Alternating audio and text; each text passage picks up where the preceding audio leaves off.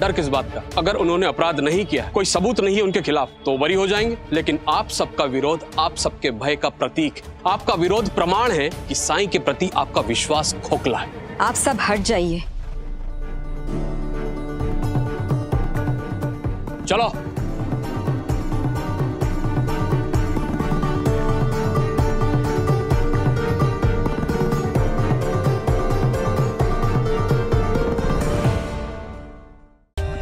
For more updates, subscribe to our channel, click the show links and enjoy watching the videos.